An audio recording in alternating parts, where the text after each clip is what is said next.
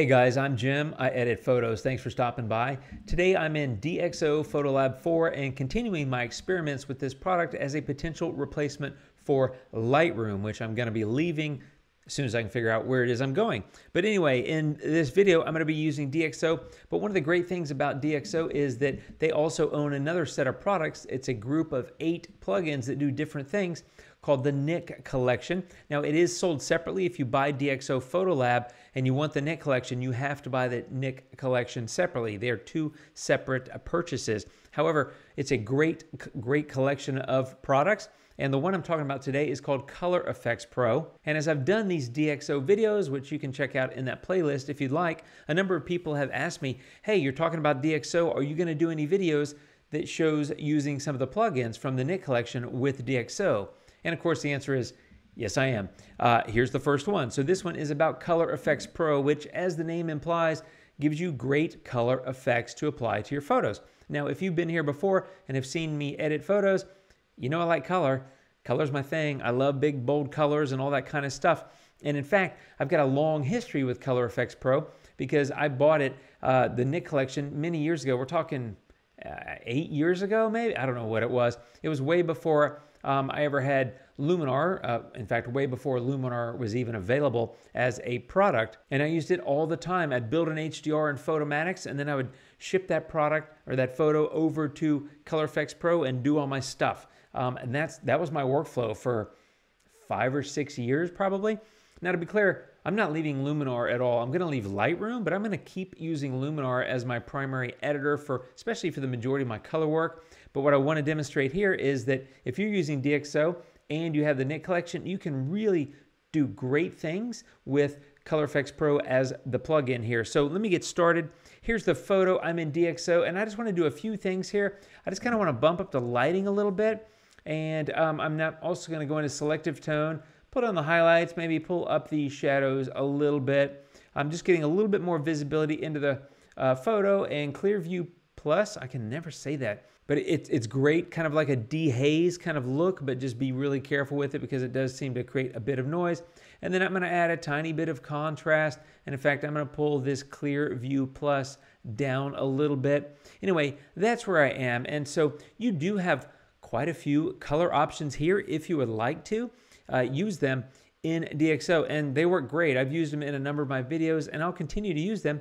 But there are times when you want to do certain things that you just can't do here or you can do more easily elsewhere and that's when I go to the Nik collection. So if you have that collection, it'll install as a plugin and you can get to it if you have the film strip down below. If you see my mouse down here, just click on Nik collection and it'll come up and ask you which one and I'm going to say I want Color Efex Pro and that's where we're going next. Okay, here we go. You show up in Color Efex Pro. Again, it is a plugin, which means when you're finished with this, you hit save, it drops you back into DxO, which I love. It works really smoothly. But the first thing I'm gonna do is get brilliance and warmth, and I'm gonna give this about an 11 or so on saturation, about a 30 or so on warmth, because it was a nice sunset and I want to pop that a little bit more. And I love this perceptual saturation. To me, it's a little bit like a vibrance kind of slider. I'm going to about 17 there, but you can see that there's the before and there's the current state. It's already much more colorful and warm, which I like quite a bit. But of course, there's a lot of stuff I'm going to use here. And um, I'm not going to call this a highlight reel, um, my edit here in Color Efex Pro, but the tools or filters that I'm using here are some of my favorites that I used all those years ago um, on all those HDRs that I used to build. So I'm going to click Add Filter. And the next one I'm going to get is Pro Contrast uh, which is quite powerful as the name implies. So I'm going to take correct contrast. I'm looking at my notes here. I'm going to about 42, 43, something like that. And then dynamic contrast, I'm going to go something similar, maybe like 40, 41. You can kind of see what it's doing to the photo. Let me turn that off. There's before and there's current state. Just a nice little pop of contrast, even though this is a color tool. Contrast impacts colors. It's really handy to have that. There's another one down here called tonal contrast that I've used a lot as well, but I think Pro Contrast really fit the bill on this photo. Okay, once again, I'm gonna click add filter and now I'm gonna go get sunlight. This is one that I've used a lot and just absolutely love it. And for strength, I'm gonna give it a little bit more strength. So I'm gonna go like 27 or so. I'm gonna leave the temperature where it is and the brightness and contrast and saturation, all that, in fact, I'm gonna leave where it is. You see how this is kind of building out. This is a Sony RAW file that was in DxO. When it goes over to Color Efex Pro, this is a TIFF, as you can see down here at the bottom. Um, it actually renames it with the, uh, the name of your file and then an underscore NIK for Nik software. But let me show you what Sunlight did. There it is before, and there it is color state, a little brighter, a little bit warmer. It's getting a little bit of kick of that sunset feel, which I like quite a bit. Now I'm going to go get another filter, and this one is called Skylight. So I'm to click to add that, and it defaults to 20. And I'm just going to bump that up a little bit to like 27 or 28. So if I turn that off, there it is before, and there it is color, uh, excuse me, current state. It's, uh, I think of Skylight a little bit like a golden hour filter where it just adds a little bit of a nice warm golden glow across the photo. I think it looks great. I love that. Speaking of glow, that's the next thing we're gonna do. One of my all-time favorites is Glamour Glow. And what I always did on my HDRs was I would apply this at the end. It creates a little bit of mood, a little bit of shadow, kind of the romantic lighting. It reminds me of like an Orton effect kind of, or like a mystical, if you're familiar with those, like in Luminar. So I'm gonna go glow at about 48 or something like that and give it a little bit of warmth as well in the glow, maybe just like a 15 or 16. So not a massive difference, but there's the before. You can see a little bit more visibility, a little bit more detail like in the tree branches and that sort of thing on that side of the lake. And now it's a little bit more in shadow. It's a little bit moodier. I just kind of like it. And then one more filter I'm going to add here, and this one is Indian Summer. And I had so much fun in the day with this tool. It's, it's really cool at changing up some of those colors. You can see what it's doing here. Let me turn this off.